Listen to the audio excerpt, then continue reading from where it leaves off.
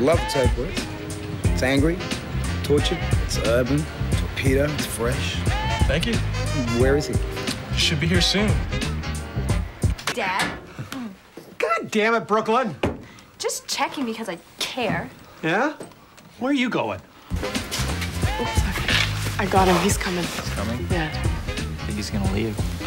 Let me talk to him. Can I get you a drink? No, no thanks. Um, look, uh, he's late. Um, I don't have all night.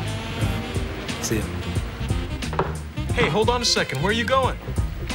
Man, you think Sir Winston there can put some dead presidents in their pockets? I hope so, man. Dude, where the fuck is Mac, man? Because the Duke is gonna deke.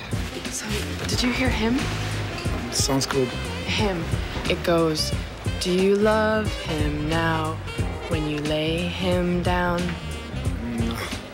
See, this woman moves to Kansas and wants to marry some guy. Mac flips even though he doesn't really know her. So he started writing all these amazing letters filled with poetry and art and poetry.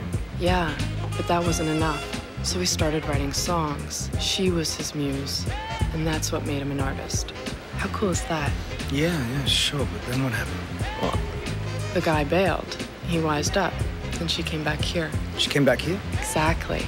Mac finally hooked up with her.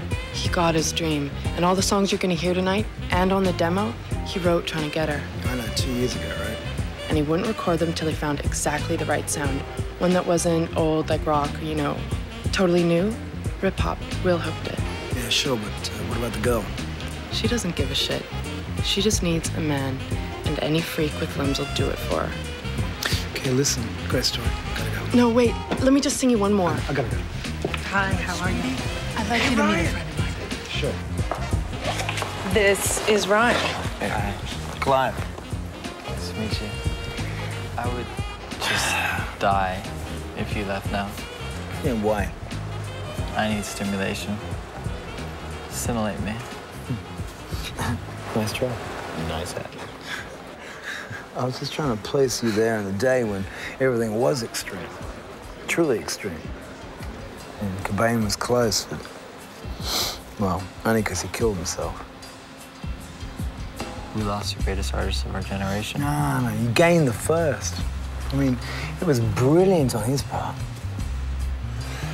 Otherwise, it would just ended up another flavor of the month, flavor of the day, whatever. Seattle? Come on. Like, anybody cares about the rest of grunge? Like anybody cares now? Are you serious? Dad, give me one good reason why he shouldn't have killed himself. Give me one good reason why you shouldn't kill yourself. I don't, I don't know. Love? Bullshit. There are all horns and ain't no love. Only in art. Uh, that's that's all that lasts. Look, how can you be creative when your generation is just meek and fearful and over-aware? It's pathetic. Heroin's coming back. That's your only fucking grace. Talk about easy junk. That's all downside. Odine, you don't even get to flirt with the monster. I knew you'd be a monster. It's in your eyes. Sure. But death is such a boring, faceless risk. Imagination. Slow, internal self-hatred leading to emotional destruction. A self-imposed insanity through enlightenment. Alive, healthy, nothing to live for because it's all been done before. That's where the scary place is. Get there, all of you.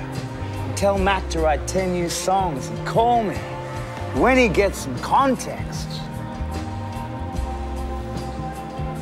Oh, and by the way, uh, tell Mac he should probably dump the girlfriend. Why? Never fuck your muse. Hey, wait, wait, Mac's here. Wait,